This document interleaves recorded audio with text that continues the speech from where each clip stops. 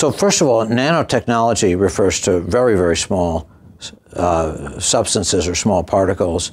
Um, you know, generally you might think of a, a, nanoparticle, if you looked at its thickness, might be one one thousandth the thickness of a human hair. So it's incredibly small.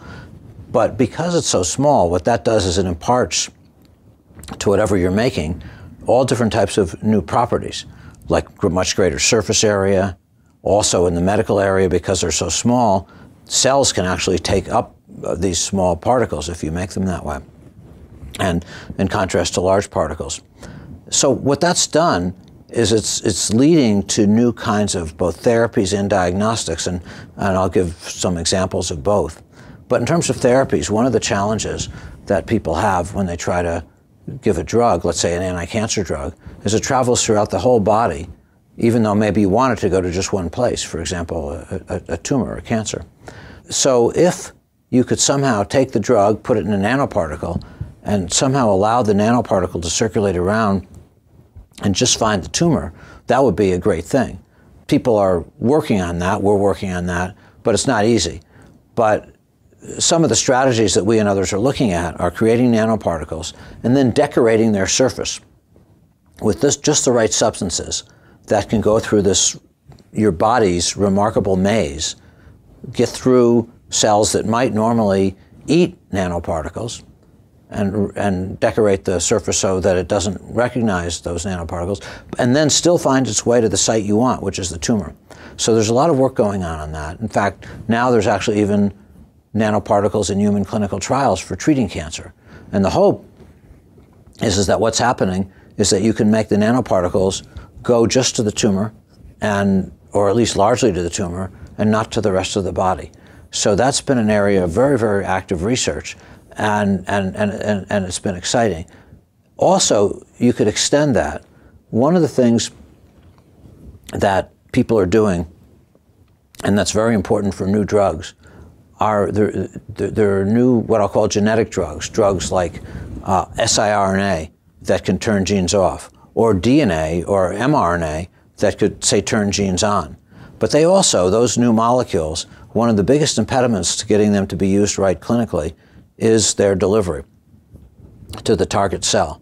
But again, one of the strategies that people are using are could you incorporate those molecules, the DNA or the siRNA and so forth, could you encapsulate them in nanoparticles? And could you direct that nanoparticle to go to just the cells you want, let's say the liver or, or some other cell type in the body? And by doing so, you can have all kinds of new medicines that are highly specific that can, like I say, shut genes off or maybe turn them on and treat different enzyme deficiency diseases and, and maybe other diseases. So I think nanotechnology in medicine is very, very important from a therapeutic standpoint. It can also be very important from a diagnostic standpoint. Right now, there's a number of diagnoses that, that people do. Let's say somebody has a, a, a, a disease, bacterial infection or fungal infection. Right now, some of the tests that it takes to detect some of those infections might take up to five days, a really long time. And the problem with that is, is that if it takes a really long time, you might not know what the right medical treatment is for that person. So is there some way to do it faster? And again, that's where nanotechnology comes in. One thing that we've been involved with, along with some other colleagues, uh, is, is, is, using nanotechnology to create new, what I'll call um, NMR systems. And what you can do is create little magnetic nanoparticles, decorate their surface with something that could detect whatever it is that you want. And what'll happen is, is when those nanoparticles, is when those nanoparticles see something that what you've detect, what you've put on their surface recognize, they will aggregate and you get a certain type of T2 signal. That's the NMR signal. And that'll be very different than what happens if it doesn't recognize it. But the beauty of it being nano, in this case, is that the surface area is so great. So whatever signal you get, gets amplified tremendously because the surface area is so great. So you have the ability to diagnose things much, much more rapidly.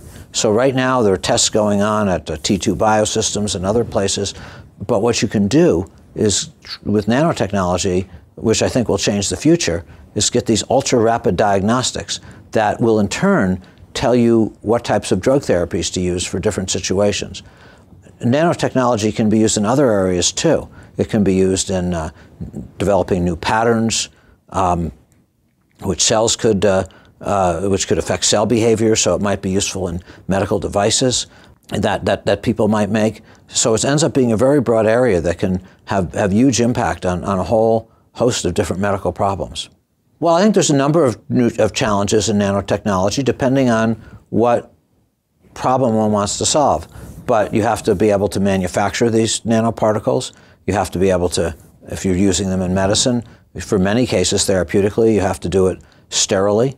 If you're trying to deliver new molecules like uh, siRNA or DNA, th those are not so easy to encapsulate uh, always. And also, there are challenges in getting the right targeting, getting them to target to the right cells in the body. So there's a range of, of, of, challenges that people need to overcome. We're trying to, our goal is to try to get these to the point, these systems to the point where they're really being widely used on people. And I think we just don't know all the challenges yet. You know, in some of the cases, we've done some human trials for certain diseases. In others, we haven't.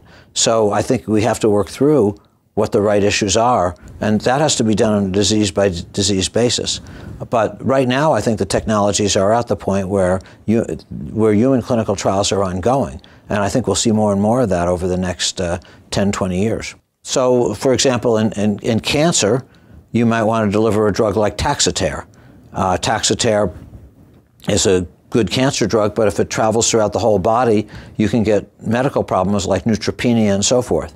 But if you could target it right to the tumor, say a lung tumor or a prostate cancer tumor, then you probably wouldn't get the neutropenia. You could give more of it, and hopefully you would be able to eliminate the tumor. These are theoretical at this point, but those are the kinds of clinical trials that are going on. Anything in medicine takes a long time. You have to go through what's called phase one, phase two, phase three clinical trials, and even before that, you have to do animal trials. So I expect it'll to really move these along it'll take at least five years. You know, I think that there's a lot of research that needs to be done, and then a lot of studies in human beings. Uh, so I think it'll take I think it'll take some time, and of course, not everything always works right the first time. So you may need to repeat experiments and so forth. So our, our laboratory is working on a number of problems uh, related to medical nanotechnology. One is can we get high yields of drug encapsulated in the nanoparticles? Two, can we create nanoparticles that will be very specifically targeted to specific cell types, like, say, prostate cancer? Three, can we uh, put more complex drugs like siRNA or mRNA or DNA in them? Four, can we demonstrate this that they work in animal models? And five, can we work with people, clinicians, and companies to show that they work in human models? So nanotechnology can also be used uh, for vaccines. Uh, one of the other things we've worked on with a company called Selecta Biosystems is creating nanoparticles that you can direct to what are called immune presenting cells. So that, and, and you might be able to example, to have those vaccines to prevent cigarette smoking or uh, other diseases, cancer vaccines and so forth. So nanotechnology could be useful not only for therapy, but also for disease prevention through the use of, of nanoparticle vaccines. I think it's early to know whether there are risks or not. With any new medical therapy, there are always risks. Sometimes the chemicals you use are risky. I don't think there's anything inherently risky about nanotechnology, but I think any new concept, there's some risk.